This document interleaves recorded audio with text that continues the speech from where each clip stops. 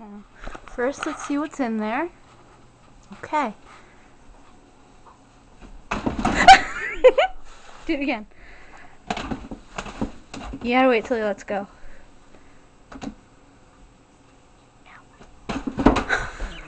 wow. Do it once more.